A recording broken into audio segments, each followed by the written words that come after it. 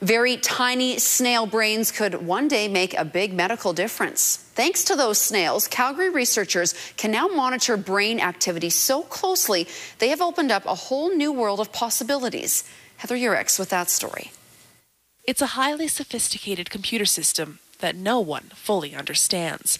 Our brain is made up of tens of billions of cells, each powered with an elaborate electrical network to form thoughts, memories, and action. The ion channels are the one that will determine the behavior of a particular brain cell or the network of brain cells. But when those channels start to short circuit, our body's computer malfunctions.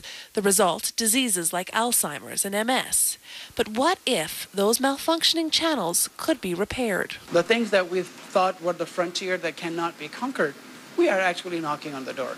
The Calgary research team that first put brain cells onto a microchip has now discovered a way to get up close and personal with how our brain's wiring works, giving researchers hope that repairing short circuits could one day be possible. We've gotten to the whisper that we can unravel.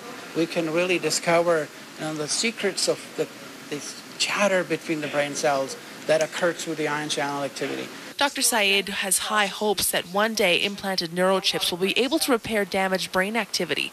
But for right now, this Calgary technology is something pharmaceutical companies are excited about. Instead of having a single technician spend hours testing one drug, we can now have 30 or 40 of these lined up, um, all of them attached to machines, and actually just add the drugs to them and we can screen multiple compounds all at once. Placing a great deal of hope on these tiny computer chips, hope that they could potentially hold the keys to unlocking ways to cure so many brain disease. Heather Yourex, Global News.